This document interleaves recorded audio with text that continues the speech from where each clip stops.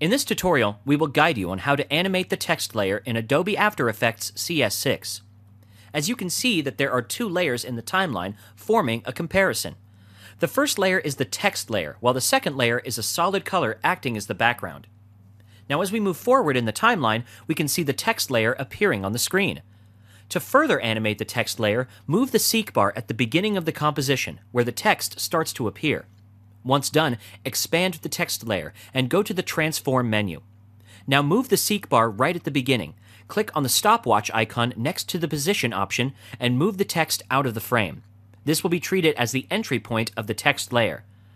Once done, move the seek bar a bit forward and drag the text layer into the frame. Now we would like to animate the sequence further, allowing the text layer to expand once it moves inside the frame. For that, make the two keyframes. Keep the size at the first keyframe as 100 while increasing the size significantly on the other keyframe. Once done, hit the toggle animation option. Now hit 0 on the keyboard, which will render the composition, allowing you to preview the sequence. Here, you will see that there is a long pause from when the text appears on the screen to the time when the text expands. So to correct this, move to the Transform menu from the text layer and adjust the keyframes accordingly.